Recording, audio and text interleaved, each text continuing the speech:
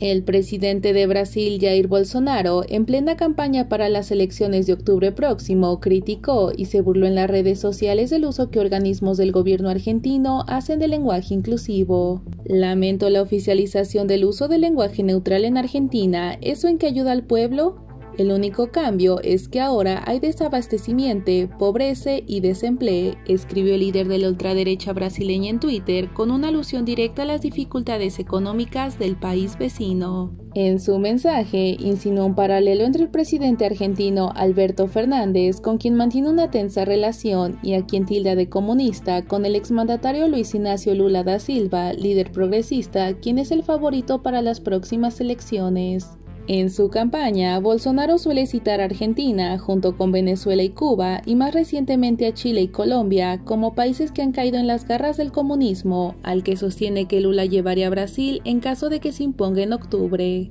A mediados del año pasado, el gobierno brasileño, a través de una normativa publicada por la Secretaría de Cultura, prohibió de forma taxativa el uso del lenguaje neutro en comunicaciones oficiales o en todo tipo de actividad artística que reciba financiación estatal. Bolsonaro expresó en aquel momento que ese lenguaje neutro de los gays acaba arruinando a la juventud que así empieza a interesarse por esas cosas de la homosexualidad.